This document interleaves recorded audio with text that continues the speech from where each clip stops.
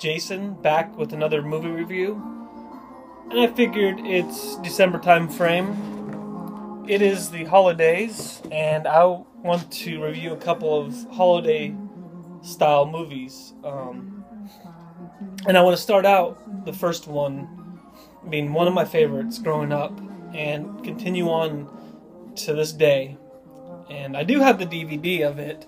It is A Christmas Story and I'm sure all of you, everybody's seen it. And in fact, it's a tradition now on TBS, on TV, to do a 24 hour marathon of this. And that's how I watch it most of the time nowadays. I don't really watch this DVD per se, but it seems like every Christmas I will have it on. And most of the time nowadays, it seems like I'm not watching the whole thing all the way through. And then I'll, I'll uh, watch a little bit here, watch a little bit there. You know, you flip in the channels, turn it back. It seems like I end up watching it, watching the whole movie once a year, um, just not at the same time. So you kind of just you're watching it throughout, you know, the 24 hours. Um, but this is one of the ones that I will never forget. Um, and well, first of all, we'll go over the uh, some of the cast, just the the main uh, people. The the mother of this is a Melinda Dillon. The father is Darren McGavin, and the kid right here, and also I wore this shirt just for this, and I'm sure you guys know what, what this is all about when it says "You'll shoot your eye out, kid." Um, so, and that's the kid's played by Peter Billingsley. Um, very funny kid. Um, and it does. And I was just looking at this before I started recording. It. It's based on the novel "In God We Trust, All Others Pay Cash" by a Jean Shepherd. I've never read it, and I would love to actually get a copy of that and uh, and read it. Uh, go ahead and comment below if you've ever read it and if it's worth trying to get. Um, and this is just the basic DVD, the very cheap one. Um, I'm sure. I think they have the Blu-ray out there, and I'm not. I can't tell you if it's worth getting or not. I haven't got it, and this is one of those just those flip ones. You know, the very cheap one. Um, that's all it is. Nothing very fancy on it. Um, the special features are nothing except for the theatrical trailers. So,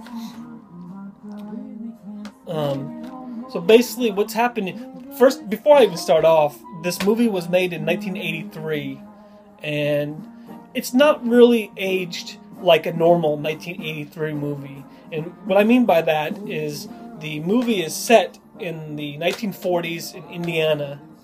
And honestly, when I watched this when I was younger, I almost thought that this movie was filmed in 1940. It just appears like that. I mean, they do a great job setting the mood.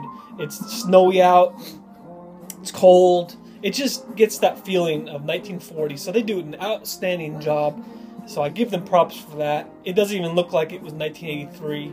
So they did outstanding with that. Because um, a lot of times you watch a movie nowadays where it's 1983 when it was filmed, and it's very aged by this point. So, but this one I can watch this every year and still love it. Um, and this is hilarious. Um, what's happening is the kid's name is Ralphie. Um, he's nine years old. Um, the typical nine-year-old daydreaming throughout the whole movie. He daydreams. It's absolutely hilarious. Um, and then also throughout the whole movie, you're listening to a narrator, which is supposed to be um, the kid Ralphie as well when he's an adult. Um, and I like that. I like the tone it sets. And a lot of times it's the narrator talking, and then you see Ralphie as a boy, and he's daydreaming or he is just staring off into space and you could just you could tell he's thinking about stuff going on. He's got a younger brother named randy. Um, you could tell the age difference there. Uh, i'm not sure how old he was. Um, you got a couple of friends and uh, i'm not really going to go over what you know each scene is but i will cover a couple of memorable moments for me. Um, of course, everybody has to love his friend who gets double dog there to put his tongue on that pole and it gets stuck. It is, it's hilarious, and it's sad at the same time. You feel bad for the kid. He did a great job. I don't know how they did it, but it looked realistic. Um, everybody has to go back into class. Um, Ralphie himself, he wants to stay, but he doesn't want to be late to class, so he kind of has to has that little pickle right there. He goes back. They're all staring out at him throughout the through the window in class, and that's when the, the teacher has to call the uh, fire department to get him out.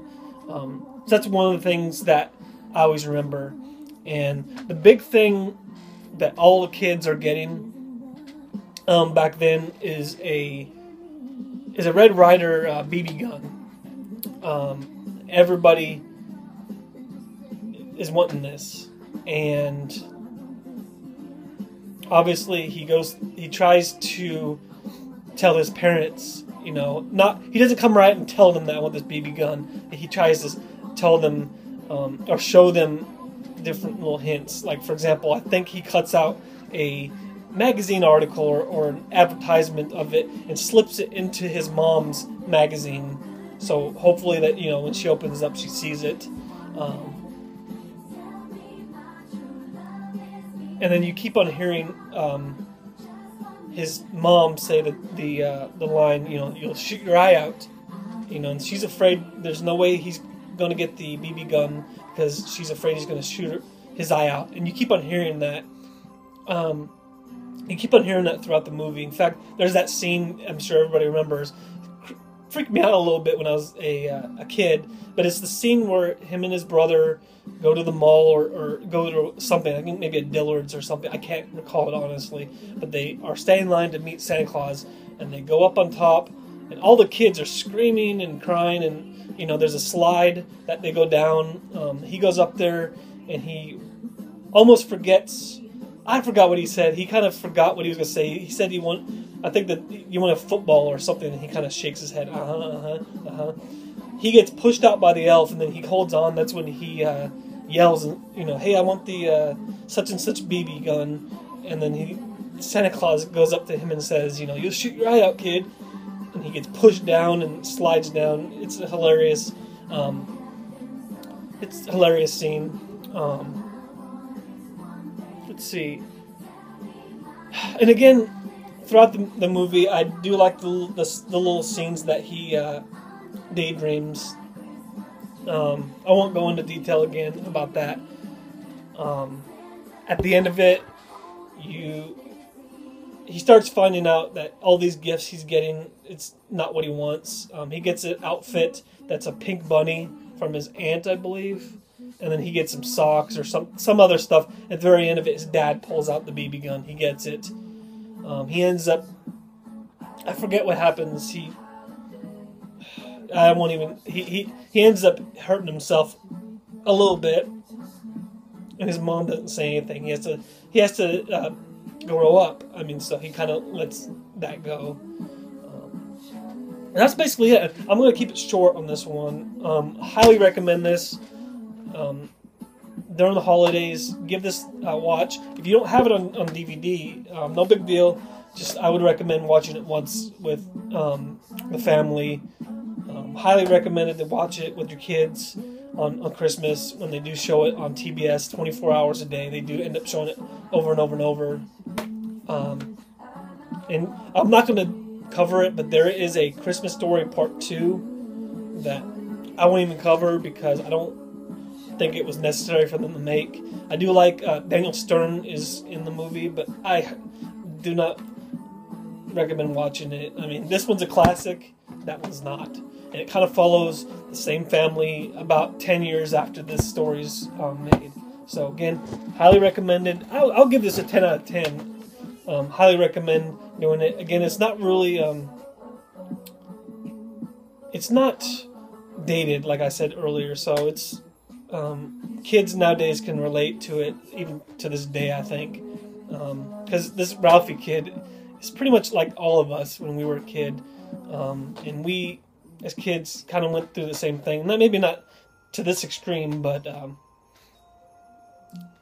but so even what to this day when I watch this, I feel like a little kid. You know, get the memories of when I was a kid growing up and you know getting you know, sometimes getting what I want and, some, and sometimes not, you know. So go ahead and give this a watch. And that's it for this one. I will do some more um, holiday reviews.